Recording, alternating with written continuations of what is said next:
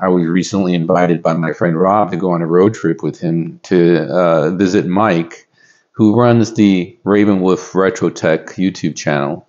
Uh, he happens to be just a couple hours away, and what a great trip that was. So I want to thank Mike for his hospitality, thank Rob for the invite, but most of all, in addition to that, I want to thank Mike for hooking me up with two of the most sought after Commodore 64 peripherals. What you see here is a Commodore a CMD RAM link and a CMD HD20 20 megabyte hard drive. So let's get down to it. The, uh, the RAM link is used often in unison with the HD20 to speed it up, to help speed things up. I'm not going to go over the RAM link. You don't need it in order for the hard drive to work. But um, we'll go over this in a future video. One of the things that's usually missing from this thing is the cable, and it uses an ST, an Atari ST external drive cable uh, for connecting an external drive. So it's a what I think it's a 14 pin cable. So I'm waiting on on that actually in order to play with that a little bit more. So we're going to put that aside. But let's concentrate on the hard drive here. I know for a fact that it has a little bit of a problem because I did plug it in and I already saw that it was that it had an issue. So let's take a look at the issue together, see how we're going to troubleshoot it, see what enhancements we can make, and we'll go from there. Okay, so first things first, the power supply is very similar to an Amiga power supply. It has 5 volts um, and 12 volts and ground obviously. So I'm going to go ahead and plug that in.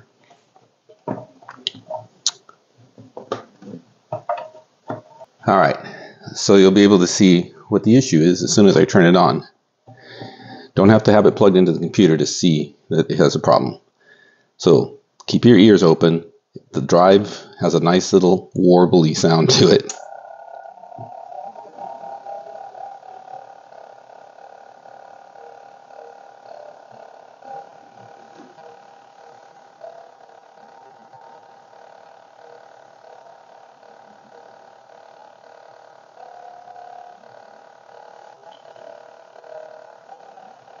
So you can see the activity light is starting to do its thing.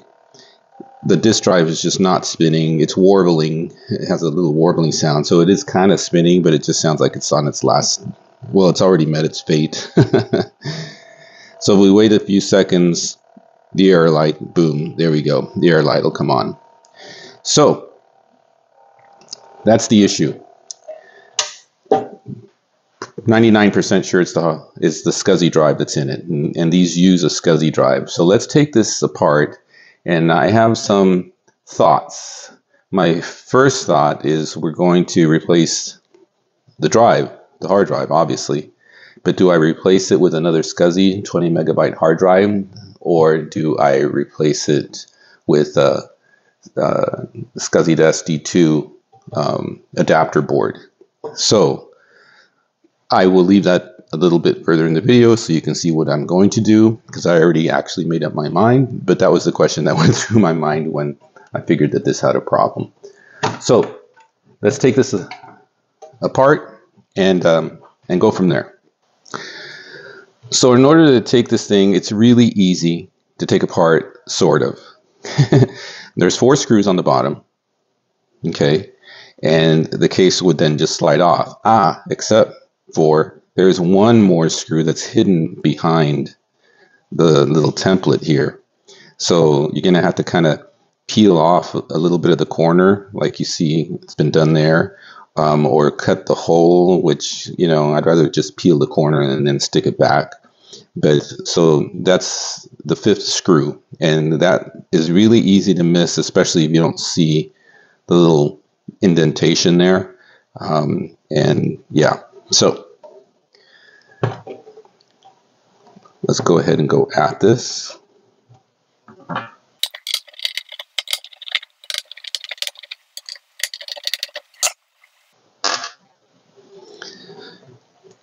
Okay, this unit is quite simple.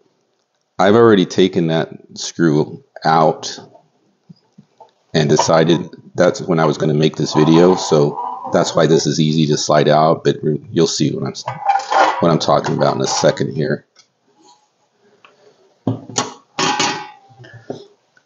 So you can see that that screw right there comes through. It's like a little bit of extra reinforcement. And there's the back of the case where that screw goes into. So, all right. Putting that aside for now, let's see what we have here. Very simple. Okay. So we have an a, a SCSI connector so you can chain, I think, up to seven SCSI devices, if I'm not mistaken.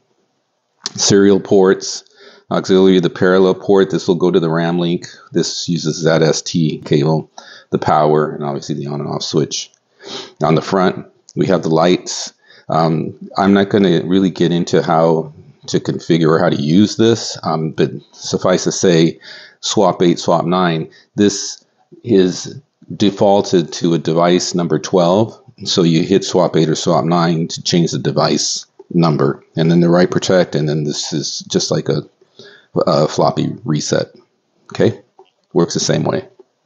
So, what do we have here in terms of the drive itself?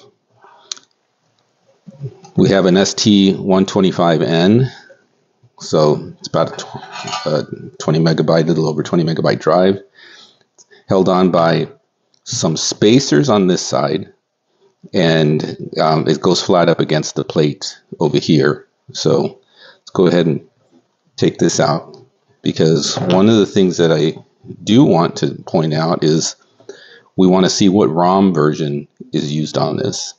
And early, the earlier ROM versions um, only allow you to partition up to around 200 megs or so, but the later, the latest ROM version, which is 2.8, allows you a lot more um, space for your partition. You can put up to four gigs, if I'm not mistaken. So let's take a look at that. We got to take out the hard drive anyways.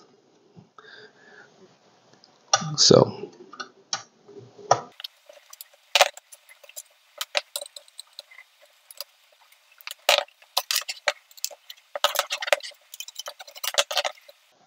Okay, so you want to be careful. Once you get the hard drive unscrewed and loose and everything, you just kind of want to flip it. And then that way you can take the connector out.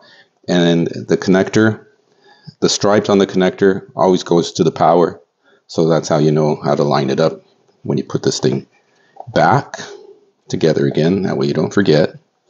Um, and SCSI connectors typically have a little indentation, or not indentation, a little extrusion on the top. So you really can't put it in backwards anyways, but just in case. So there's our hard drive. What I plan to do with this is test it a little further on one of my PCs um, that has a SCSI card on it.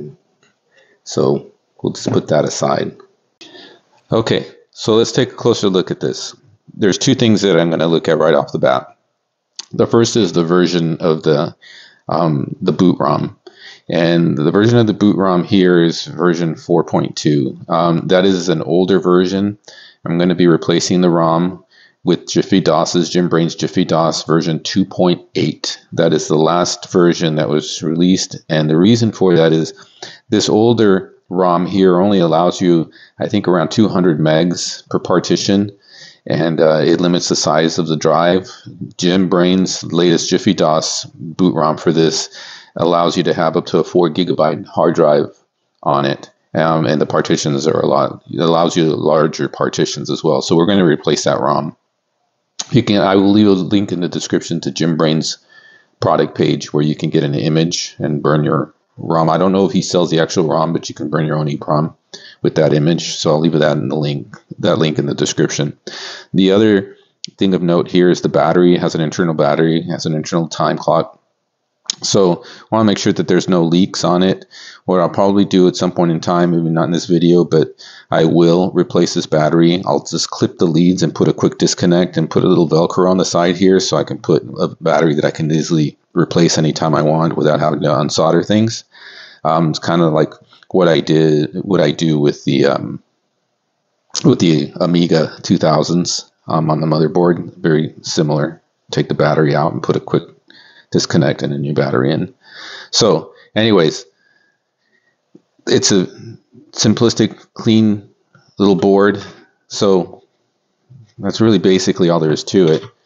So what am I going to do now as far as do I replace the drive? Get another drive? No, because I, you know, if I got another drive, it'd be used most likely. It'd be old, um, and you know, risk of failure is high.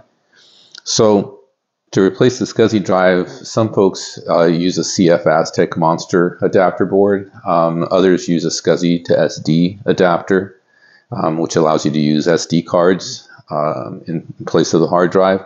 I'm going to use something very similar to the SCSI to SD adapter. It's called the Zulu.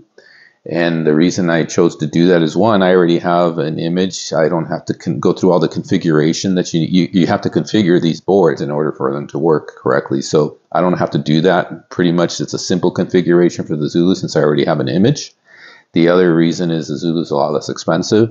I'll leave a link in the description. Uh, I don't know how long it'll last since it'll be an eBay link, but for $50, you can pick up the Zulu and it's a do it yourself board. You just have to solder a few components onto it and you're done. So that's what we're going to do next. So stay tuned. Okay, so I burned a new uh, boot ROM, um, version 2.8. So replace the old one with the new one. And what did I get in the mail today? I got our uh, Zulu card from Rabbit Hole Computing. So just a little bit of assembly required. This was fifty dollars, um, so I don't think it's a bad deal for getting a SCSI card that works on an SD. Um,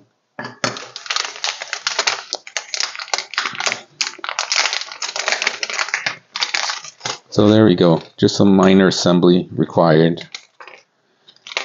A few connectors and a couple of capacitors and uh, we'll be on our way. So let me get the soldering and then we can uh, test this. I'll put a 32 gig um, SD card in here and see where we go from there. All right, so stay tuned. Okay, so I got the Zulu SCSI together. Basically, I had to solder the connector, the power plug, two capacitors, and three jumpers.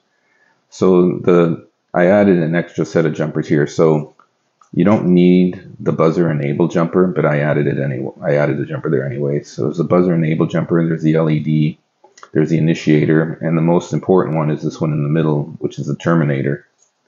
Um, since I only have one SCSI drive, so to speak, I need to terminate it. And so that is essential that you have that jumper. So that's what the end result of the Zulu SCSI compact looks like.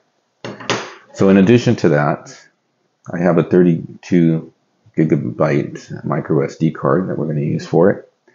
I also made a converter, if you will, an adapter, I should say, power plug adapter, so I can plug this um, power plug in without having to modify it. So did that. Just so you know, this plugs in this way, and the red, which is the far left, is 5 volts positive, the two in the middle are ground, and the one on the right is 12 volts positive. And that basically adheres to the plug here. And then the other thing that I did is um, I also made a custom 3D print of a mount for it. Uh, I made it so I can still use all the original screws, including the side um, spacers. Um, so that way I don't I can use the original parts and not lose them. so we'll get all this together and uh, yeah, let's take it from there. So stay tuned. Okay, so the uh, SD cards in these, or the micro SD in this case, um, we have to create images. Um, the images are basically telling the system that this is the configuration for the hard drive that it's supposed to look at. Now, in Commodore land, four gigabytes for an 8-bit is, is the max pretty much for an 8-bit computer. So you could create four gigabyte images that is representative of one drive. If you create multiple images, then you can have multiple drives.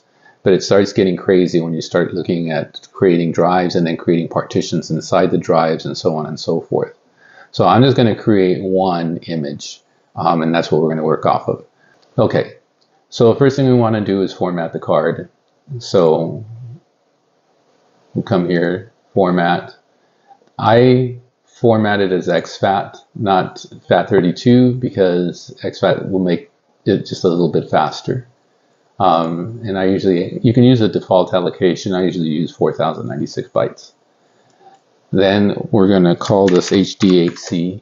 You may want to stick with this. I, I don't recall if Zulu SCSI firmware requires um, this name as a volume or not, but I've always used it and I've never had any issues with it. So that's what we're going to do. So we'll do a quick format. It'll erase everything on here and the format's complete. Boom. Okay. So the next thing you need to do is you need to create the image. Okay. Now I use a program to create the image. I use a program called DiskJockey. Um, it's a free program. Highly recommend it. Um, I like it better than FSUtil, where I don't have to go and try to you know figure out the actual bytes. Um, so if we look at DiskJockey, um, I specify that I'm going to create an image. The image is going to be um, 4096 megabytes. Okay, that's four gigs, and I'm going to use it as a blue SCSI and I'm going to create the base image. So you always want to have a zero, an HD zero. Um, that's your primary. So if you have a bunch of images, uh, it's good practice to always start off with HD zero. Um, remember, Zulu SCSI, if I named a CD zero, it would look at that as a CD image, um, but we're doing a hard drive image.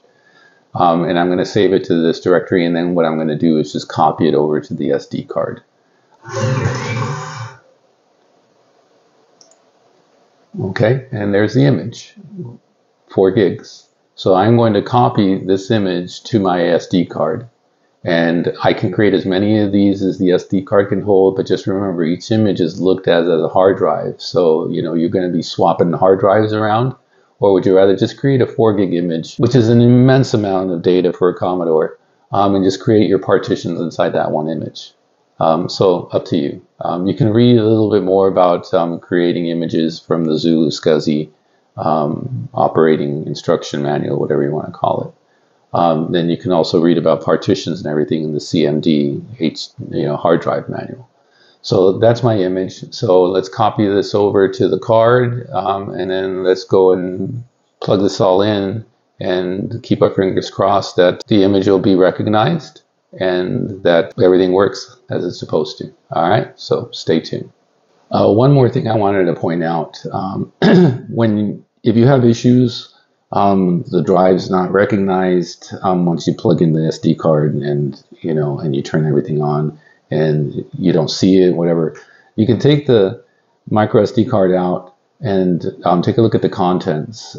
The Zulu log.txt file shows you everything you need to know as to what happened um, in terms of the image and the initialization and all that stuff.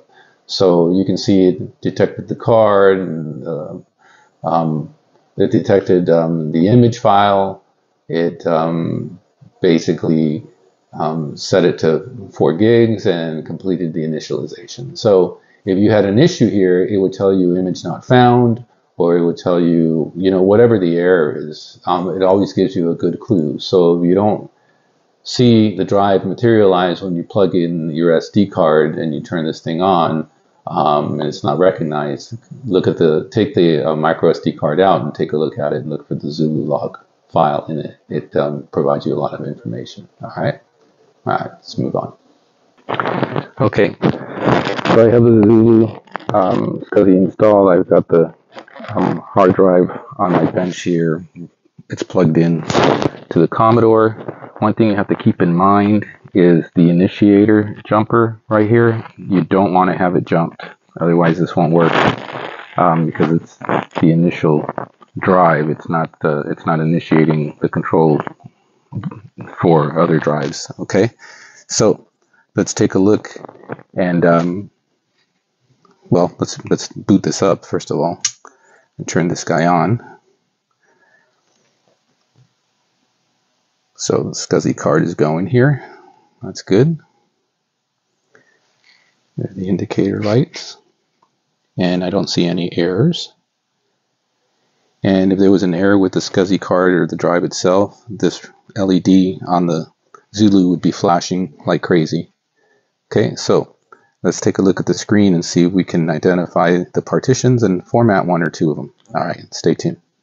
Let's turn this computer on here. Let's go to our CMD tools. Okay, so we are going to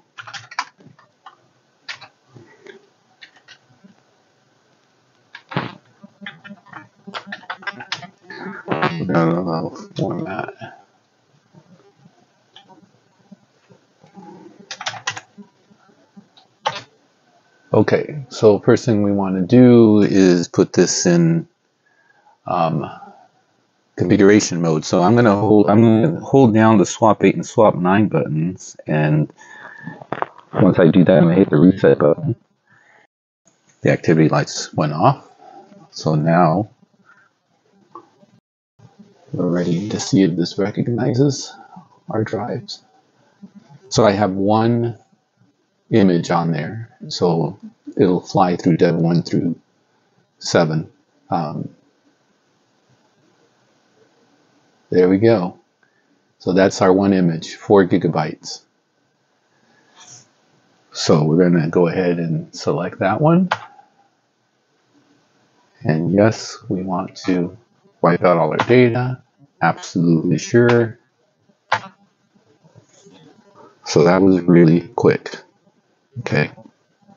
So now we have to, well, let's just wait until it's finished verifying. So this might take a while for four gigs. So let's let it do its thing and we'll come back in a few minutes, see where we're at. Okay, so stay tuned. Okay, format was successful. This only took an extra minute or so. So that's awesome. Um, so now we have to create the system, right? So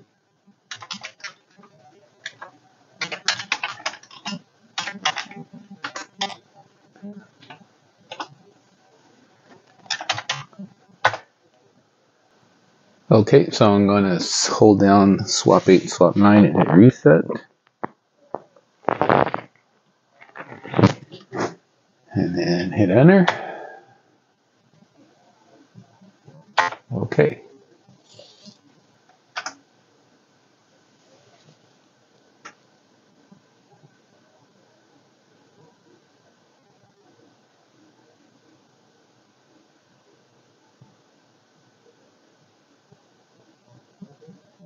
So this creates the system, the OS system from scratch. So if you're adding more devices, you don't need to do this on every device, but um, you need to do this on the on the main device, and that's what we're doing right now.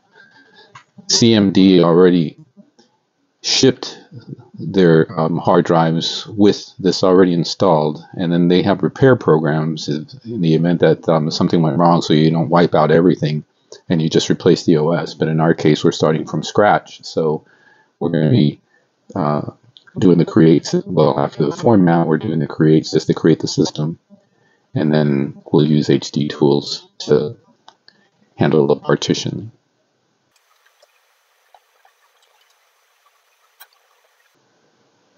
Okay, hitting the reset.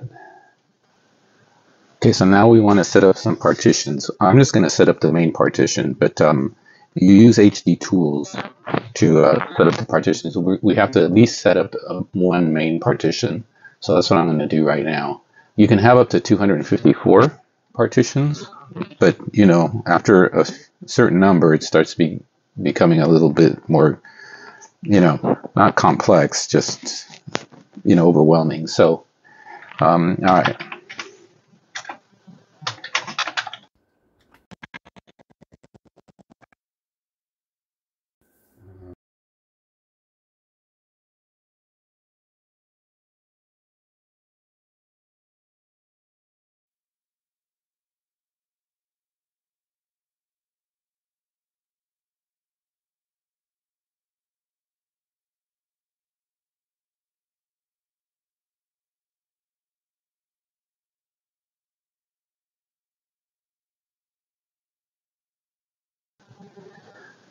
So 256 blocks is really nothing. So um, the bottom line is there are around um, 4,000 blocks per megabyte. So it's about four blocks per 1K. So at 4,000 blocks per megabyte, um, we have four gigs. so for the main partition, I'm going to devote 15 megabytes. So 15 megabytes times 4,000 blocks per megabyte, that gives us 60,000 blocks.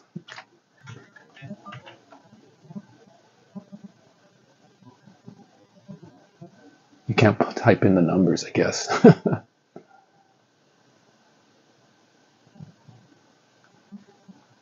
And then if you go back to the type, there's different types. Um, we're using native to, to, take advantage of all the commands, all the extra stuff that goes with that. But um, there's the different types are like 1541 drive, 1581 drive, CP/M.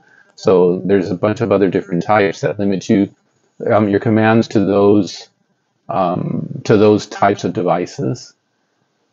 Um, but we're in the main partition here. I'm going to just keep as native, so that way we get take advantage of um, all the native commands. And we're going to call this main. Okay. Yes.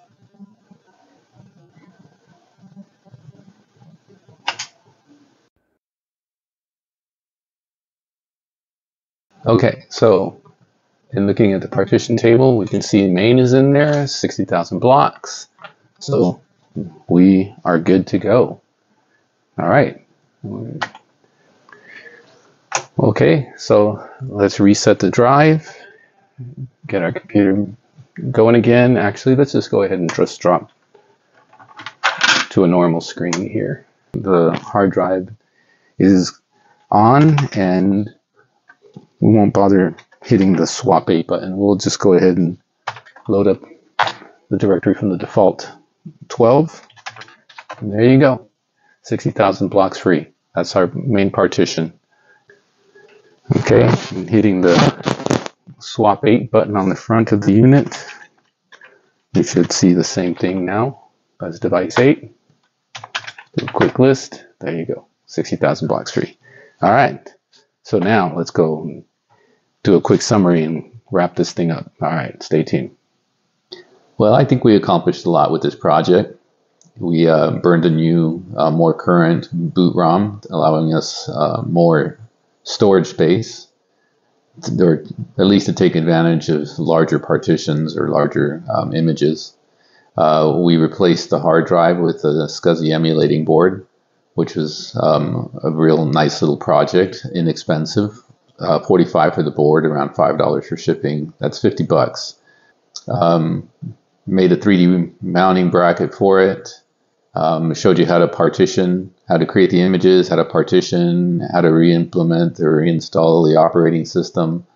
Um, so a lot accomplished out of this. So you have a failed uh, CMD hard drive.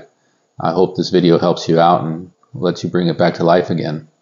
So future videos, maybe a little bit more of the workings of the hard drive itself because it's a fascinating device, especially in the Commodore world. Um, that much disk space for Commodore land is incredible. And then on top of that, you put the RAM link in to the equation um, to speed things up a lot. Um, that's also incredible. So, you know, uh, maybe future videos there for sure. Um, or you can always, you know, twist Mike's arm over at Raven Wolf's um, YouTube uh, channel. you know, he has a few of these units. Maybe he can show you more of the inner workings of it. Um, but in the end, I appreciate Mike giving me the opportunity to bring these uh, items into my collection. Appreciate Rob for uh, planning the road trip out there. And uh, hey, like I always say, you only live life once and it's short. Enjoy every day like it's your last. I think that wraps this puppy up. Peace out.